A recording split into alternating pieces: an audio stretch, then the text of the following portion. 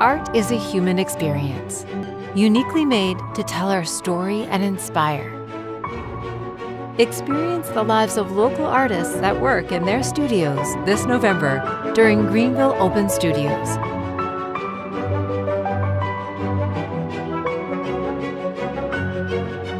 Visit greenvilleopenstudios.com for more information.